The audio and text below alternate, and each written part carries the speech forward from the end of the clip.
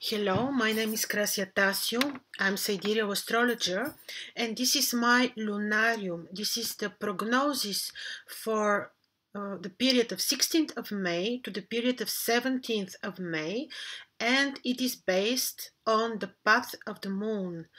Um, I'm sidereal astrologer because I'm using the fixed sidereal Babylonian zodiac, and I will do my prognosis. Um, using the model of the ancient Babylonian astrologers and um, I will certainly use the path of the moon.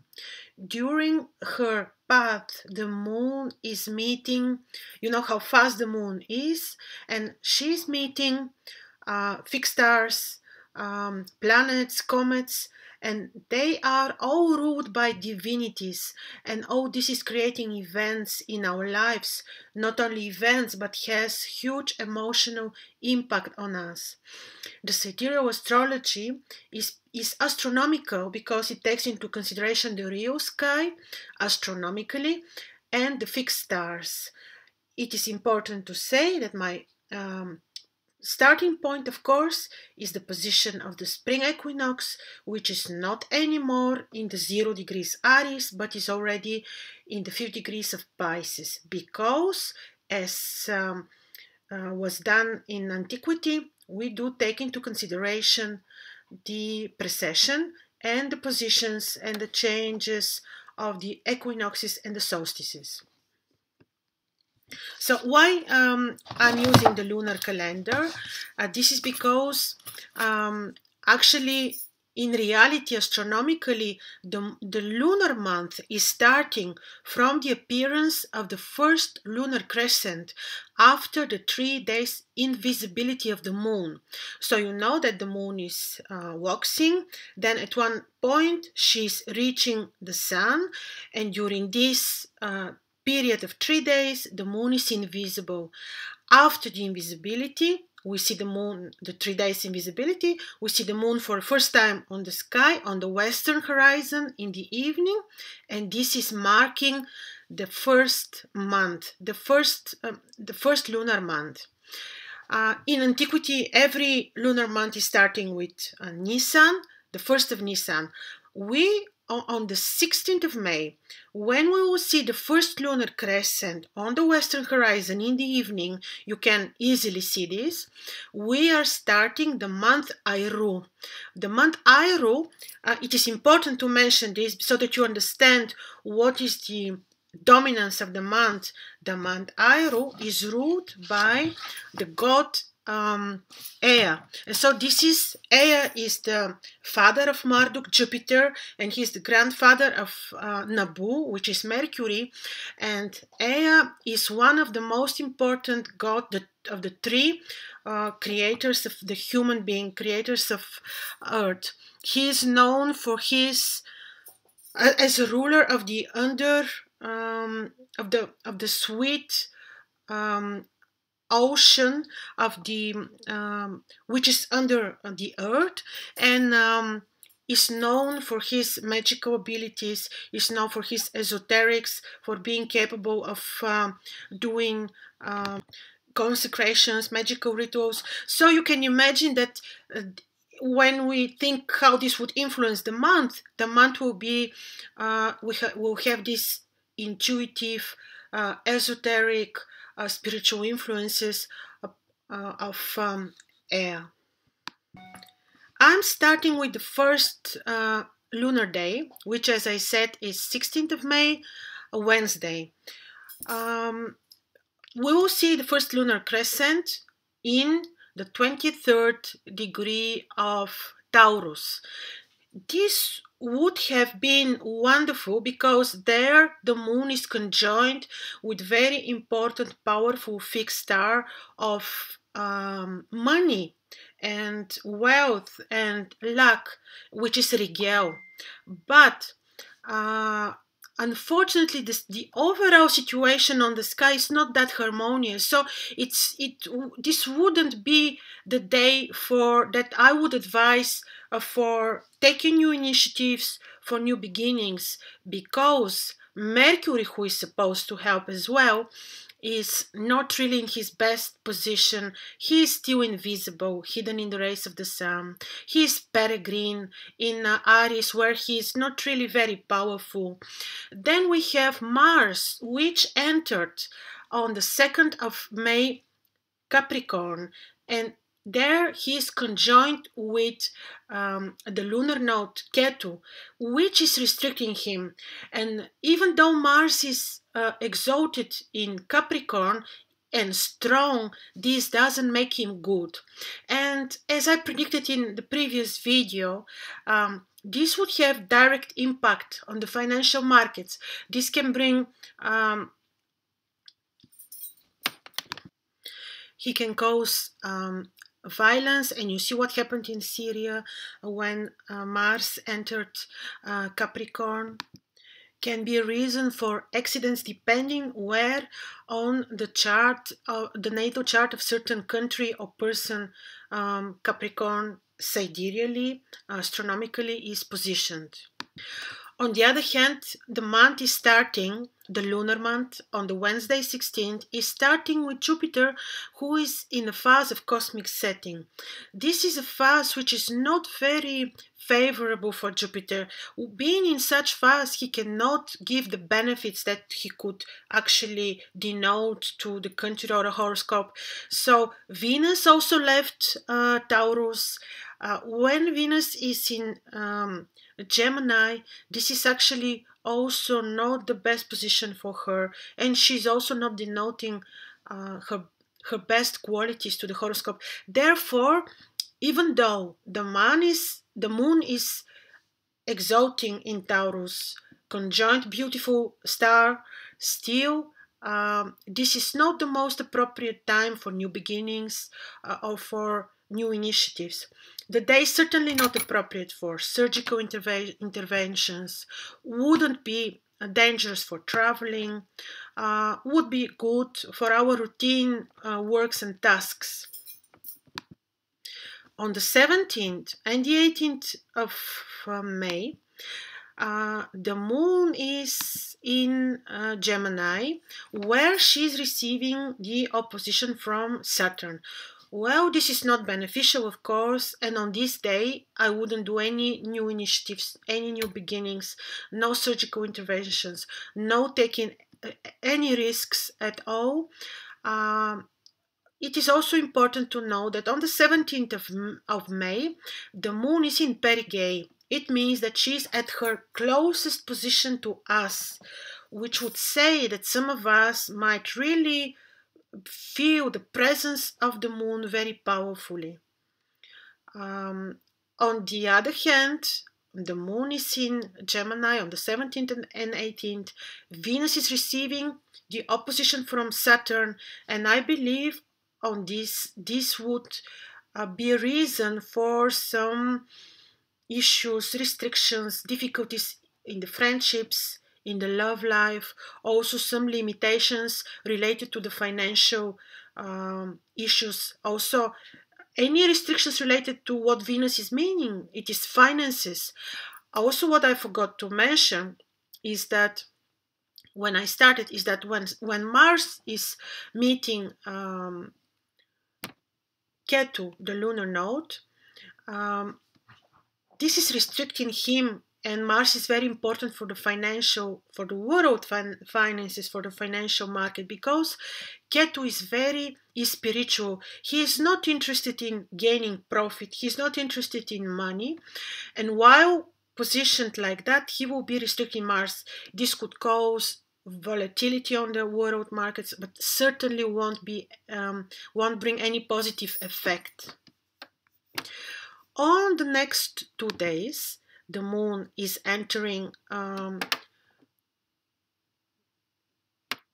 Cancer, where she is meeting Rahu, the lunar node. She's making opposition with Mars. This day um, is risky for any violence. Uh, would, might have impact on, bad impact on the finances. Um, it's not recommendable for any risk taken even for travel. So this is the 19th and the 20th of May. no surgical interventions also. While the moon is waxing, if you're a gardener, uh, this is a wonderful period for planting leafy vegetables, for example, because then they would grow well.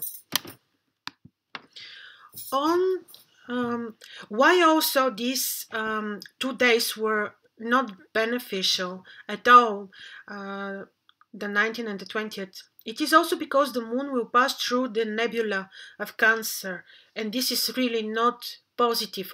Well, it could be very good for meditation, spiritual practices, uh, prayers, for any practices that would enhance or increase your intuition.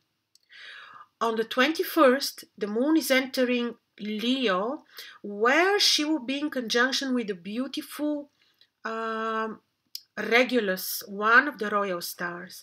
Now, Regulus is pure, beautiful uh, leadership uh, star, and this is uh, already the sixth lunar day.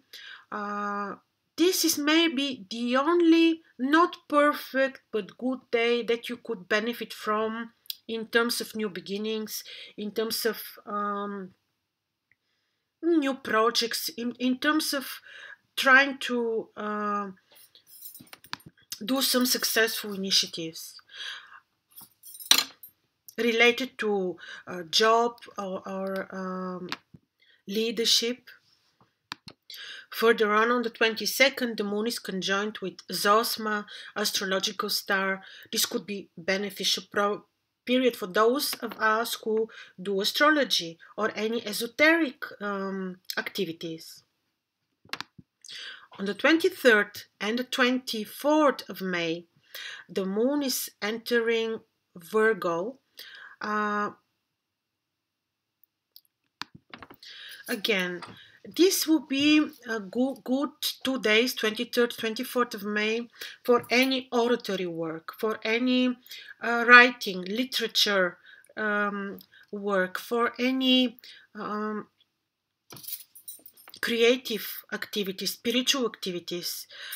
Um, even though the moon will be making square to Saturn, she's the active part in this square, so this won't be so uh, dramatic. So you may benefit from this day um, in learning, creating, um, and writing, studying spirituality. Again, the day is not appropriate for surgical interventions in terms of uh, gardening. Yes, you may plant leafy vegetables. Um, moving further the celestial sphere, and here the moon on the 25th of May the moon is making exact conjunction, conjunction with Spica. This is beautiful uh, aspect where and you can benefit from it exactly in creativity, spirituality, uh, writing, studying, oratory work, uh, planting, of course, leafy vegetables, and of course, as I said, spirituality. No surgical interventions. On the 26th, uh, of May and 27th, the moon will be in Gemini, conjoined with Jupiter, who is already retrograde. In Gemini, we have beautiful stars related to artic, uh, artistic qualities, making yourself visible through artistic activities. And this is Gemma on the 26th, and on the 27th, it is the star Zubeneschamali, which to bring this, especially Gemma, is very powerful in terms of making you very visible when you're practicing art. Charlie Chaplin, for example, had Gemma on a very key position on his horoscope. So you can see how uh, artistic, talented, and how visible this star can make you. On the 28th, 29, the moon is entering Scorpio. There she is not happy at all. On the 28th is the first day when she's aiming at the full moon, and this day uh, uh is called the, cosm- the acronical rise. During the acronical rise, the moon is still very productive in terms of money, in terms of business, but it is not um, good still for new initiatives because the moon is in a fall. It is certainly not good for surgical interventions. The next day, the 29th, is the cosmic setting. This is very destructive phase. During this phase, uh, it is not advisable to to do anything. Actually, in antiquity, during the full moon, people would uh, spend time in the temple, would would pray, would contemplate, would would meditate. They would even they would have um, would celebrate, but they wouldn't do any important uh, things. On the 20 after this day, after the 29th of month of, of, May, the moon is starting to decrease her light. Then she will be a warning. So, the 30th of May, the moon is conjoined with Saturn, making opposition uh, to Venus. This can have bad uh, impact on uh, friendships, love relationships, finances. Um, even though the moon is waning already, I still wouldn't recommend the day to be used for any surgical interactions. The same is valid for the 1st of June, because the moon will then be in exact conjunction uh, with Saturn. On the 2nd of July, the moon will be conjoined with Mars. This could trigger uh, uh, issues with finances, also on the world market, with violence, with accidents. So I wouldn't advise important initiatives.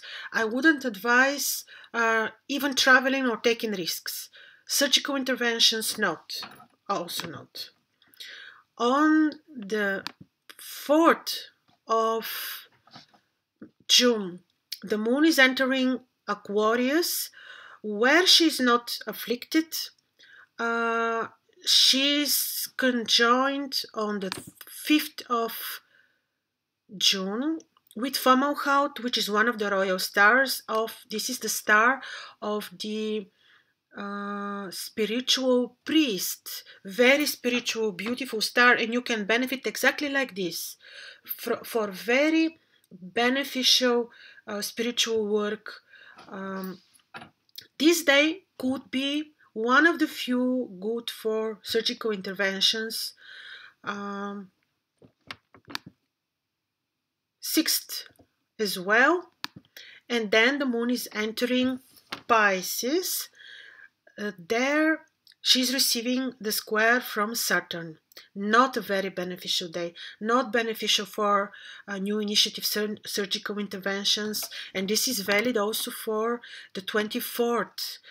Um, I forgot to say that the previous two days were when the moon would make um, the last square, the last quarter.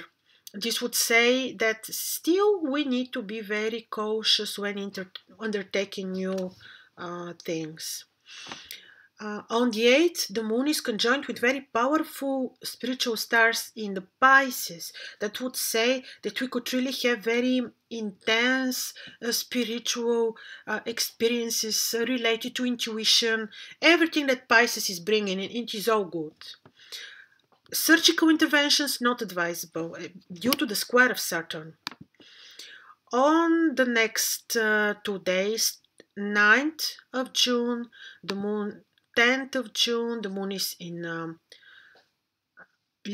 uh, Aries, uh, opposition from Jupiter, but this Jupiter is the, the greatest benefic possible for uh, to have good routine business, but unfortunately now Mars is squaring the moon, also not good for surgical interventions. On the 11th of June, the moon is entering uh, Taurus, conjoined with the Pleiades. The Pleiades are known for their magical powers, some of which are not positive. So, this would say during this day, do spiritual work. No, uh, be careful with again with surgical interventions. Unfortunately, the days for surgical interventions during this month and for new beginnings are not that many. but let's hope for better July. Uh, so this is on the 11th of uh, June. During this time already, just to say that Mercury is preparing to become visible as an evening star. So in about four or five days, we will, be we will see Mercury rising as an evening star. And this will happen in his sign in Gemini, but still he we won't really benefit a lot from Mercury since he's afflicted by Saturn. So you can see how mm, how we're lacking um, harmony on the sky during this month and how we can't really do a lot. And this day, actually, the 11th of June, was the the last, uh, the day of the last lunar crescent. So we, this is the last day when we are seeing the moon. Not good for for doing anything. It won't bring good results. You may travel, but carefully. Do your routine work, but no new initiatives. And then on the 12th of June, the moon is becoming invisible for the three days of invisibility. During these three days, in antiquity, people would do simply nothing celebrate, spend time in the temple, spend time alone, meditate, meditating, praying, um, using methods for enhancing intuition, anything that would keep you away from important uh, initiatives that would put you in risk. We will see the first lunar crescent for um, this is I'm talking for the longitudes of America. So we will see the moon for the first time in the western horizon in the evening on the 14th of June. And with this the next lunar month is starting from the 14th of June until around the 15th or 14th of July. And about the second, this lunar month, I will talk in the next video. Uh, a few days before the month the month starts and the moon this month will have totally different um, dominance since another divinity will be ruling the month so uh, talk to you a few days before the start of the next month. I'm Krasi Attasio, Sidereal Astrologer, and you can visit my website on www.krasiancientastrology.com. Thank you.